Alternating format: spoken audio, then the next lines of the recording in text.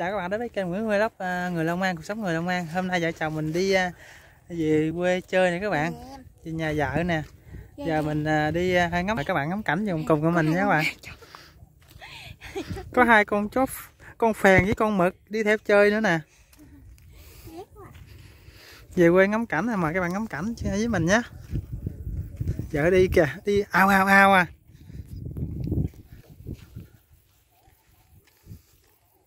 Dạ ơi, quay quay coi. Rồi có con chim bay nữa kìa, hai con chim bay kìa.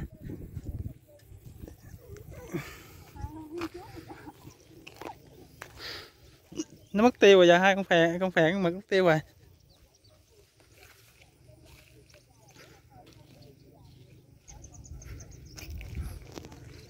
Đây là vườn mít của cha nè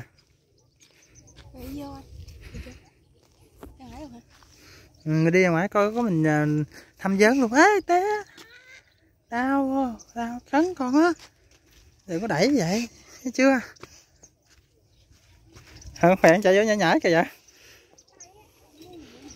Ừ.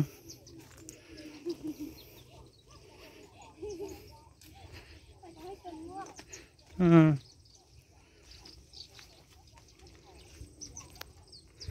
Chim hót.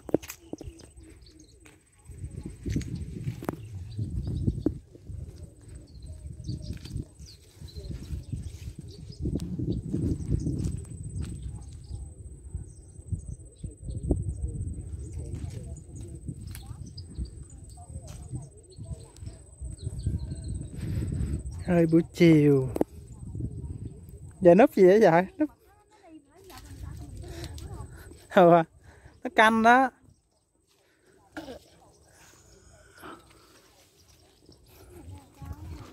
Ở đây có một trái mít chập bá luôn. Đặng đặng nó nhìn nè.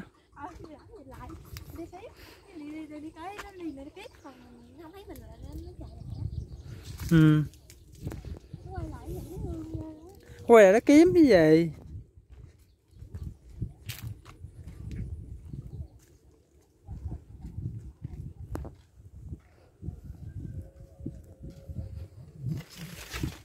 Mát hả vợ?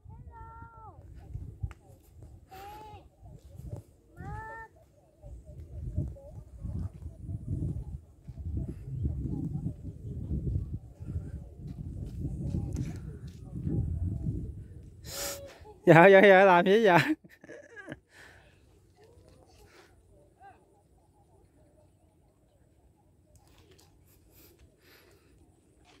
Phan phan phan. Ở đây. Phan. Ôi mặt lì kìa. Ở đây. Rồi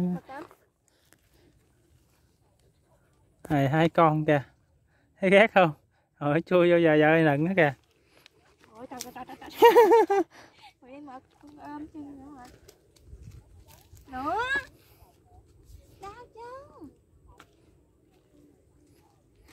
Đi thôi đi thôi.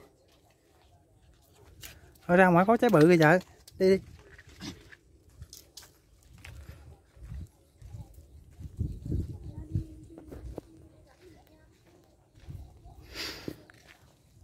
trái mít này còn non gai chưa nở dữ, cái này còn bự lắm.